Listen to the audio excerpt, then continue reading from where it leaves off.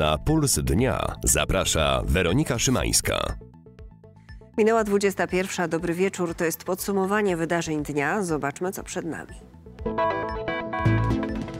Po wypadku Maltanka znów na torach.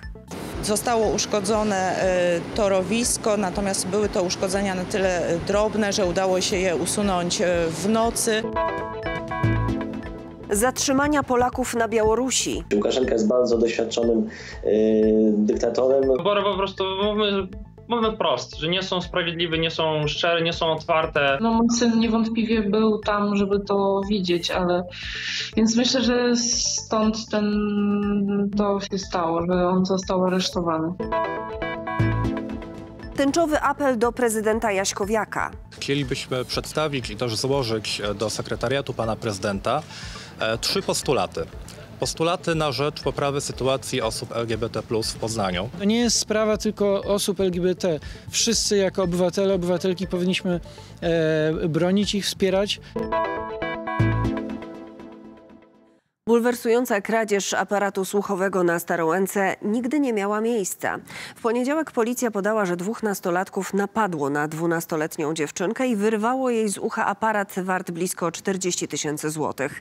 Teraz wyszło na jaw, że nic takiego nie miało miejsca, a historię zmyśliła matka dziewczynki.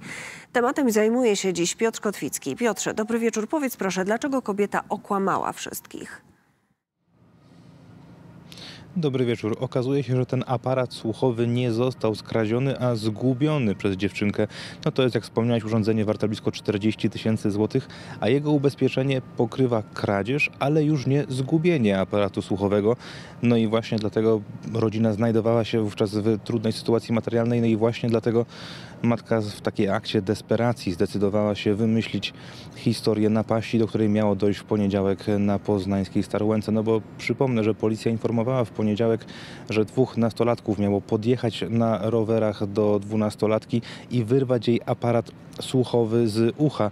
No, przypomnę, że policja wyznaczyła nawet nagrodę za pomoc w ujęciu sprawców. Natomiast gdy funkcjonariusze zaczęli przeglądać nagrania monitoringu z pobliskich budynków, no to wówczas okazało się, że kamery takiego zajścia nie uwieczniły. No i wówczas matka przyznała, że historia tego napadu została wymyślona. Tak naprawdę ten aparat słuchowy został zgubiony przez dziewczynkę nad morzem. Dwunastolatka weszła do wody i tam fala zmyła jej z ucha ten drogi procesor słuchowy. No on kosztuje blisko 40 tysięcy złotych, a jak wspomniałem, no, rodzina znajduje się w trudnej sytuacji materialnej. Matka sama wychowuje dzieci, nie otrzymuje na nie e, alimentów, no i nie stać jej było po prostu na zakup nowego takiego urządzenia. No i ze względu na to, że ubezpieczenie pokrywa jego kradzież, zdecydowała się wymyślić historię o napadzie na dwunastolatkę. No za to grozi jej oczywiście odpowiedzialność karna. Policja zgłosiła już tą sprawę na prokuraturę, ale no, warto też tutaj podkreślić, że policjanci zdecydowali się także pomóc rodzinie. W pierwszej kolejności skierowali matkę do fundacji, które w takich sytuacjach oferują bezpłatną pomoc prawną, a policjanci zapowiadają także, że, że zamierzają pomóc także 12-letniej Julii, no bo jak mówią, pomimo tego incydentu, no nie może być tak, że dziewczynka jest poszkodowana i pozbawiona tego urządzenia, które pozwala jej normalnie żyć. Bardzo dziękuję za wszystkie te informacje. To był Piotr Kotwicki. Co najmniej trzech Polaków zostało zatrzymanych na Białorusi, gdzie wybuchły zamieszki po ogłoszeniu wyników wyborów. Od niedzieli według oficjalnych doniesień zatrzymano w sumie ponad 6,5 tysiąca osób. To nie tylko uczestnicy protestów, ale też opozycjoniści, a nawet dziennikarze. Protestujący podkreślają, że stawką w tej walce jest wolność i uczciwość, której obecnie tam nie ma. O wydarzeniach na Białorusi Emil Górny.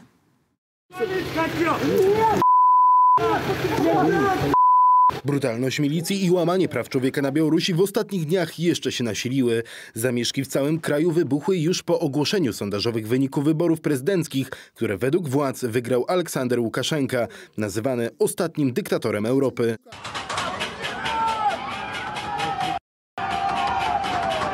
Służby reżimu często krwawo tłumią antyrządowe protesty. Masowo są zatrzymywani nie tylko pikietujący, ale także dziennikarze czy zwykli przechodnie. Na kilka dni w całym kraju odcięty został internet. Do Mińska ściągnięto wojsko.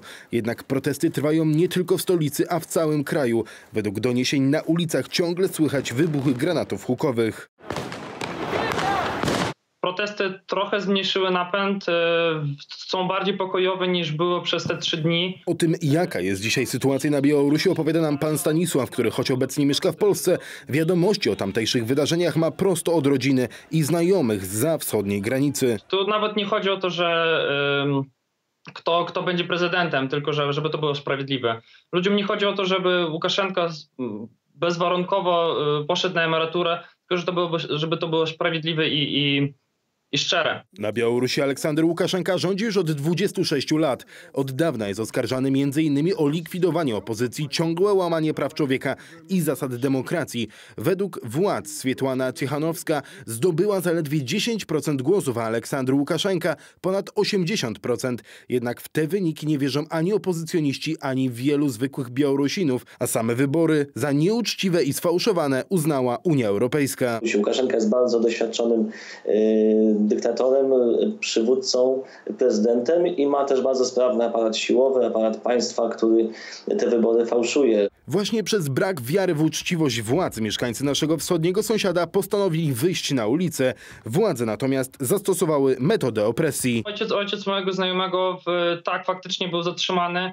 E, sam znajomy powiedzmy, no nie, nie został zatrzymany, natomiast ojciec tak, no i przez, e, przez dwa dni nie było, nie wiadomo nic gdzie jest. W czasie protestów zatrzymanych zostało m.in. trzech Polaków, jednak liczba zatrzymanych cały czas się wydłuża. Wśród nich jest m.in. student Kacper Sienicki, który pojechał na Białoruś obserwować przebieg wyborów z reportażystą Witoldem Dobrowolskim. Lokalna milicja zatrzymała ich w poniedziałek. Nie pomogło polskie obywatelstwo i legitymacja prasowa. Z racji tych bardzo ważnych wyborów dla narodu białoruskiego Kacper chciał tam być, wspierać, obserwować. Od poniedziałku matka Kacpra, pani Aneta, nie ma z nim kontaktu. Do tej pory nie wiadomo, gdzie jest przetrzymywany i co się z nim dzieje. Dopiero wczoraj około godziny 15 udało się e, przedstawicielom polskiej ambasady potwierdzić, że Kacper jest na liście o zatrzymanie Polaków na Białorusi zapytaliśmy Ministerstwo Spraw Zagranicznych. Jak poinformował resort,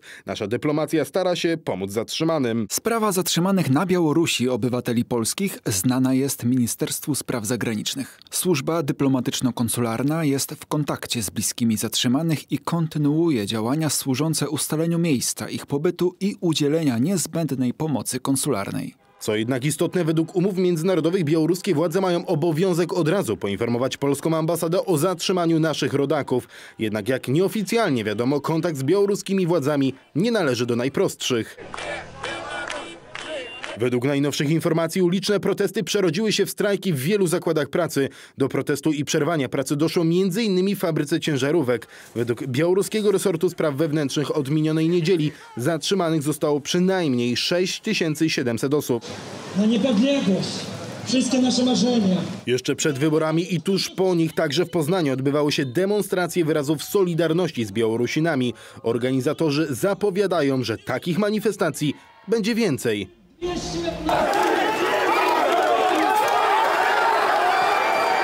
Emil Górny, Puls Dnia. Jeszcze jedna informacja w tej sprawie. Teatr Muzyczny w Poznaniu poinformował wieczorem, że jeden z zatrzymanych mężczyzn to ich pracownik. Trafił do aresztu za fotografowanie demonstracji. Został już odnaleziony i opuścił już areszt, ale nie ma potwierdzonych informacji dotyczących pozostałych zatrzymanych. Prokuratura jednak nie będzie ścigać aktywistów, którzy w miniony weekend zawiesili tęczową flagę na pomniku Adama Mickiewicza. Poznańska prokuratura umorzyła sprawę już na wstępnym etapie, jeszcze przed podjęciem śledztwa. Jako pierwsza poinformowała o tym dziś Gazeta Wyborcza. Śledczy stwierdzili, że zawieszenia tęczowej flagi nie można uznać za znieważenie pomnika Mickiewicza, ani za jakiekolwiek inne przestępstwo. To zupełnie inna interpretacja niż w Warszawie, gdzie tęczowe flagi pojawiły się m.in. na figurze Chrystusa. Tamtejsza prokuratura wszczęła śledztwo w sprawie znieważenia pomników i obrazy uczuć religijnych. Podejrzewanych o zawieszenie flag wezwano tam na przesłuchania. A tęczowa flaga dziś zawisła przy Poznańskim Urzędzie Miasta, tylko tymczasowo. Powiesili ją przedstawiciele grupy Stonewall, którzy w towarzystwie posłów złożyli list z postulatami do prezydenta Jaśkowiaka. Domagają się od władz Poznania wsparcia mniejszości seksualnych oraz wyrażenia gestu solidarności z tą społecznością. Postanowiliśmy e, powiesić tutaj przed Urzędem Miasta Poznania tęczową flagę. Postanowiliśmy zrobić coś, co prezydent Jacek Jaśkowiak powinien zrobić już dawno, ale z jakiegoś powodu tego e, nie zrobił.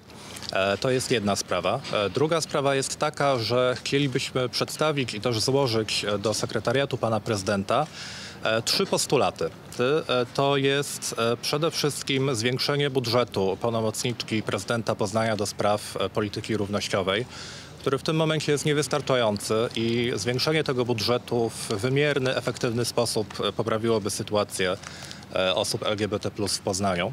E, Drugi z tych postulatów to jest hostel interwencyjny, czyli takie miejsce, w którym osoby LGBT e, w kryzysie bezdomności mogłyby znaleźć schronienie. Jako posłowie opozycji w Sejmie robimy to, co można w takiej sytuacji robić.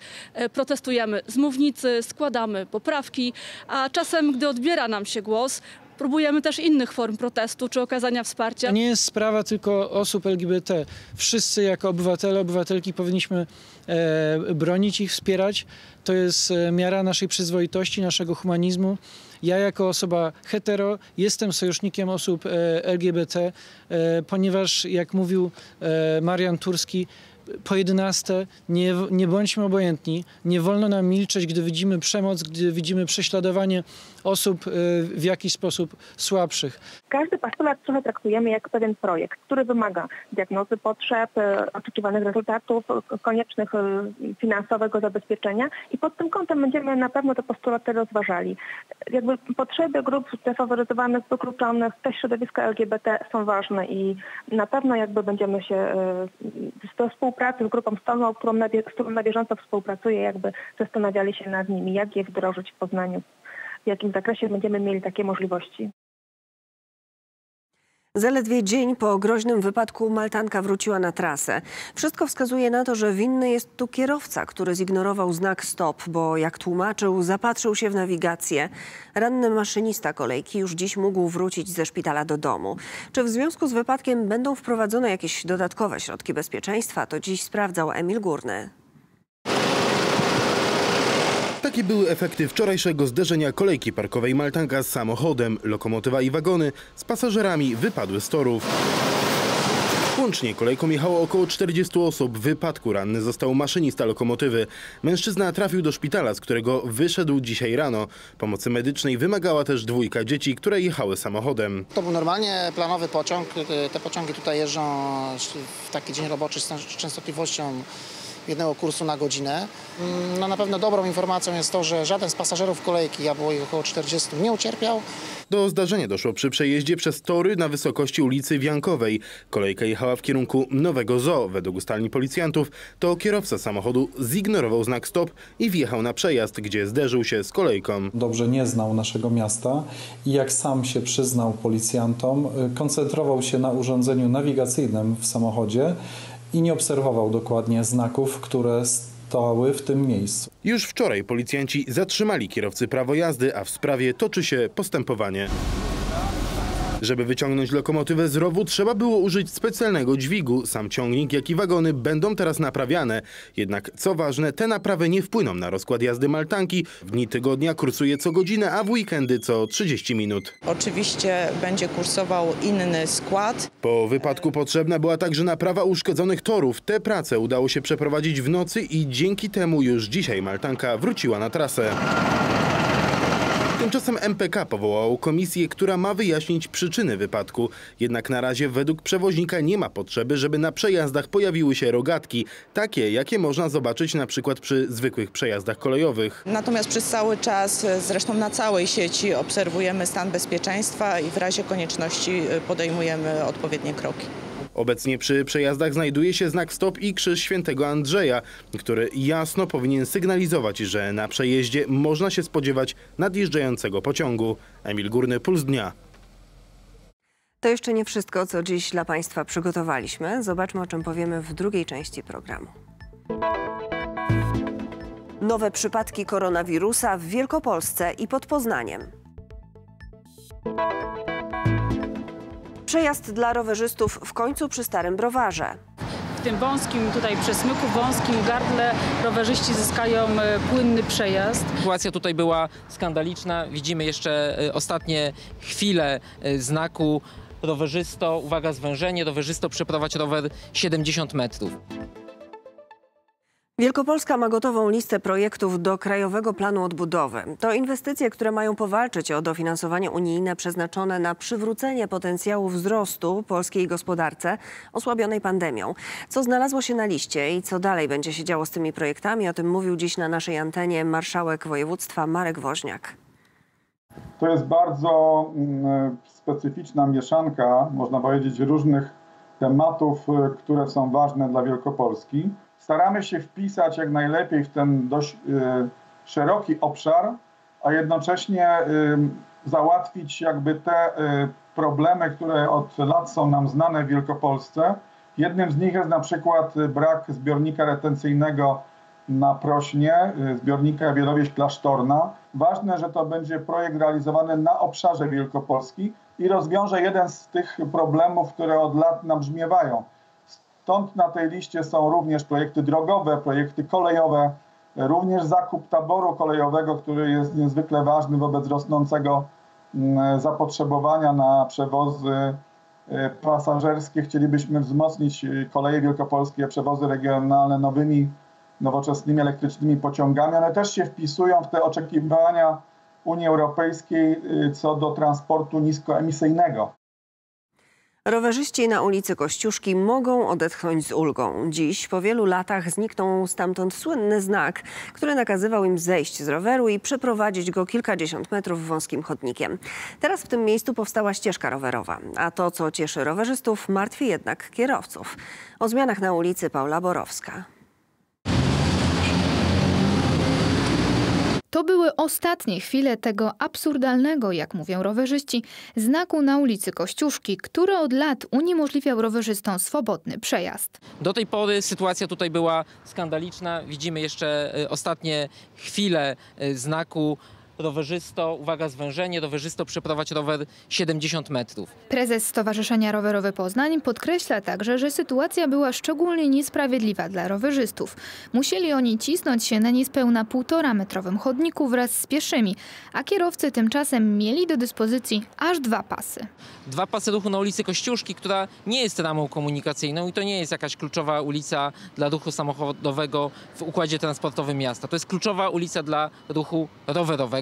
O złych wspomnieniach rowerzystów z ulicą Kościuszki można jednak już zapomnieć, bo teraz cykliści mają tu do dyspozycji dwukierunkową ścieżkę rowerową. Od wczoraj funkcjonuje tu taki wygodny przejazd y, dwukierunkowy, dzięki czemu rowerzyści będą mogli wjechać bezpiecznie na jezdnię i potem z powrotem wjechać na drogę pieszo-rowerową. Nowa droga rowerowa na Kościuszki nie cieszy jednak wszystkich. Kierowcy są zaniepokojeni, że zwężenie ulicy utrudni im przejazd i spowoduje korki. No troszkę pewnie będzie się korkować w tygodniu. Póki co na razie są wakacje i pewnie będzie puste, ale we wrześniu pewnie będzie gorzej. Rzadko tędy jeżdżę, staram się uważać, ale myślę, że może być uciążliwe. O tym. Już jest bardzo utrudnione poruszanie się po Poznaniu, dodatkowe wyznaczenie ścieżek jest naprawdę niewskazane, tak? I już w ogóle nie ma miejsca dla kierujących i dla kierowców. Ja rozumiem, że jeżdżenie rowerem jest bardzo dobre, ale no bez przesady. Drogowcy uspokajają jednak kierowców, podkreślając, że zwężenie jest niewielkie, a dodatkowo w tym miejscu wyłączono światła, by upłynnić przejazd. Kierowcy muszą się przygotować na zmiany prorowerowe także w innych częściach miasta. Również y, powstały kontraruchy na ulicy Słowackiego, y, jest budowana droga rowerowa na Dolnej Wildzie, na ulicy Grunwaldzkiej. Wszystkie te inwestycje są realizowane w ramach tak zwanego pakietu dla mobilności. To szereg zmian transportowych, jakie miasto obiecało wprowadzić krótko po wybuchu epidemii. Paula Borowska, Puls Dnia. Znów ponad 800 nowych zakażeń w kraju i 55 w Wielkopolsce. Przybywa potwierdzonych przypadków w powiecie poznańskim. Ciągu ostatniej doby w Wielkopolsce najwięcej nowych zakażeń potwierdzono w powiecie ostrowskim, gdzie pozytywne testy otrzymało 20 osób. W powiecie poznańskim wykryto 10 przypadków. Wśród zakażonych w naszym regionie jest sporo młodych osób, a także troje dzieci. Większość przebywa w izolacji domowej. Hospitalizowane są trzy osoby, w tym chłopiec z powiatu pilskiego, który przebywa w szpitalu imienia Jąszera. W Wielkopolsce do tej pory odnotowano 4588 przypadków zakażeń, z czego 1338 to tak zwane przypadki aktywne. 210 osób zmarło, a 3040 wyzdrowiało.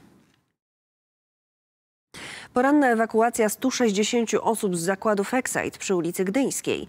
Na miejscu interweniowało 14 zastępów Straży Pożarnej po tym, jak doszło tam do dużego zadymienia. Piszemy o tym na wtk.pl. Jak informują strażacy, zadymienie pojawiło się w tunelu kablowym w jednej z hal na terenie zakładów przy Gdyńskiej. Pracowników ewakuowano. Pierwsze informacje o pożarze i zadymieniu zaczynały docierać do strażaków jeszcze przed 11. Nie ma informacji o osobach poszkodowanych. A to i dużo oczywiście u nas na.